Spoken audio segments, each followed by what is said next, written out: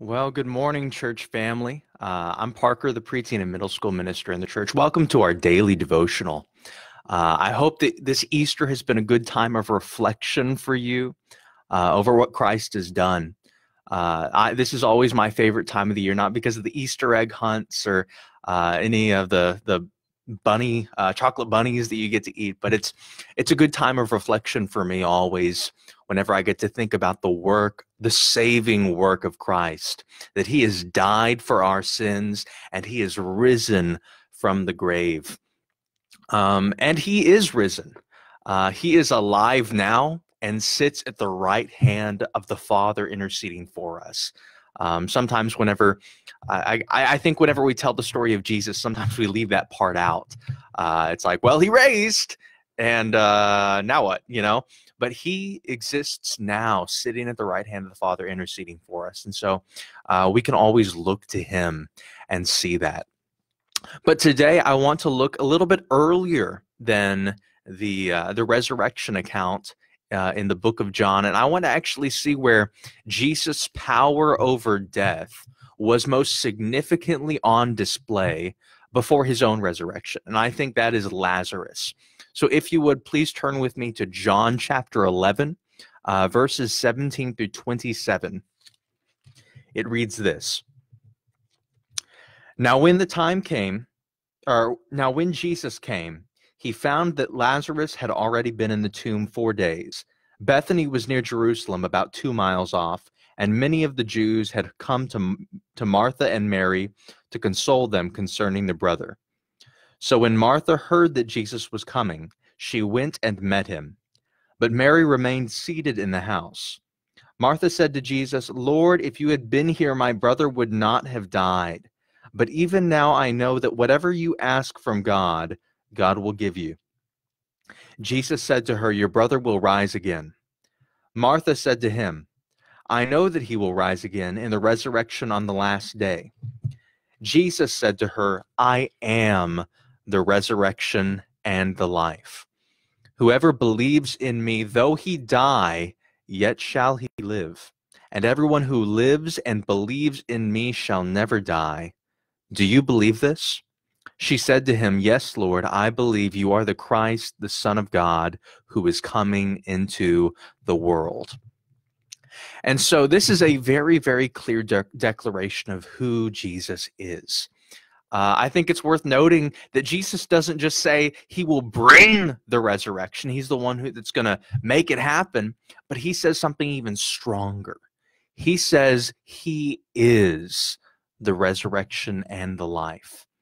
Um, obviously, there's two types of death that it's talking about here in this passage. One's physical, and one is spiritual. Uh, we're not getting the passage if we only look at one or the other.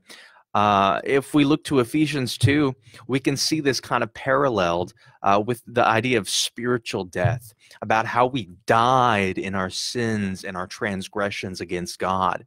But through Christ's work on the cross, we've been able to come into new life. And this is what Jesus is saying in this passage. He says, Whoever believes in me, though he die, yet shall he live. Though he may die physically, like Lazarus, he will live eternally with Christ. And so we see the gospel is just so prevalent in this passage here. And there's a few application points I think we can take from this. Um, one is that we can live without fear clinging to this truth. Um, and the reason we can live without fear is not because we know God will protect us from any trouble or any evil that comes our way. We live without fear because what is most important in us is eternally secure in Christ. Uh, I think it's a lie that we tell ourselves whenever we say, uh, God will never give you anything you can't handle. Um, I promise you that many times in life, God will give you things you can't handle. And the reason he does that is it's not supposed to be you you're looking for. You're not supposed to be uh, trying to handle all things by yourself. You're supposed to be totally dependent on him. You're supposed to look to him in times of trouble. And even harder is that he has made no promise that he will deliver you from that. Um, there's a lot of suffering in this life. Let's not sugarcoat that. But if suffering causes us to lose faith in God, that reveals our wrong belief of God. Let me say that one more time.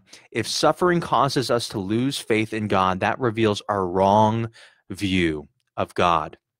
And so remember Job. Uh, who was Job? It was this this faithful man uh, to God, and uh, he was tested by God. And when he was tested, he stayed very faithful for a long time. Uh, he had his entire family stripped away from him. His, his whole life went to shambles. Uh, he he denies his friends who keep telling him he must have done some awful sin uh, in order to get to his current position. He denies them and he remains faithful to God. Um, but by the end, a broken man who really has nothing left he does begin to doubt God. And do you remember what God says? He says, Where were you in all of creation when I numbered the stars? If, if you're so uh, if you're so bold, uh, Job, to, to question me, why don't you tell me how many stars there are? Right? Why don't you tell me since you know so much more than me? Uh, the reason why why why why God gives Job this response is we are in no position to question God for anything that happens, including our own suffering. Um, the truth is, God has a master plan that none of us know for revealing His glory. Um, and suffering, whether we like it or not, is an essential part of that plan. Um, and so I would say, do not take pride in your earthly comfort, in the comfort, in the good blessings God has given you in this life. God can take it away just like that, like He did with Job. And it is not a measure of how much God loves you with how much he blesses you. Uh, don't be like Job's friends. If we start thinking that blessings is equivalent to how much God loves you, we're thinking like Job's friends who think that uh, the God will always give blessings to those who he loves and uh, he will always cause immense suffering for those he hates. That's called the retribution principle. It's not a real thing in Scripture. Um, oftentimes, God might love you immensely and give you the worst suffering. Uh, and God promises suffering. Jesus says, The world will hate you if you follow me. And to follow me, you must take up a cross. You must take up my cross to follow me. Um, whoever will save his life will lose it. But then the good news of this passage is that whoever will lose his life will save it. Uh, there is life for those who die. And let's not sugarcoat God's promises. It's true. We say it all the time. God has a wonderful plan for your life.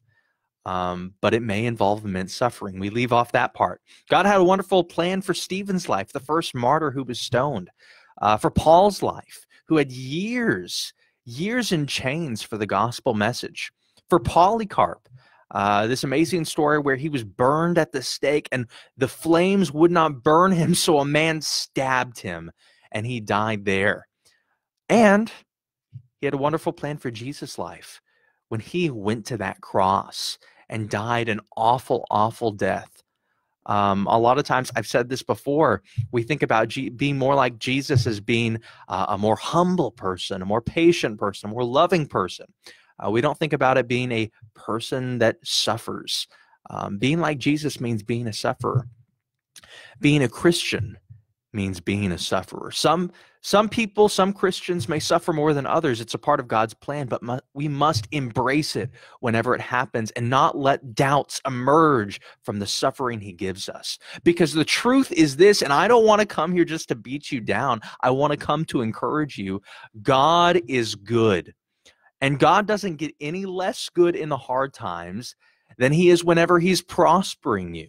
God is good all the time, and all the time, God is good. And it is true regardless of circumstance. He is unchanging and he is faithful. Um, what is most important in this life is secured eternally with Christ. Um, and that is our encouragement. Let go of this world and look to what God has done for your eternity and put your faith and hope in that. That's what Jesus died for. Uh, thank you so much for joining us this morning. Uh, we'll hope to see you tomorrow at 9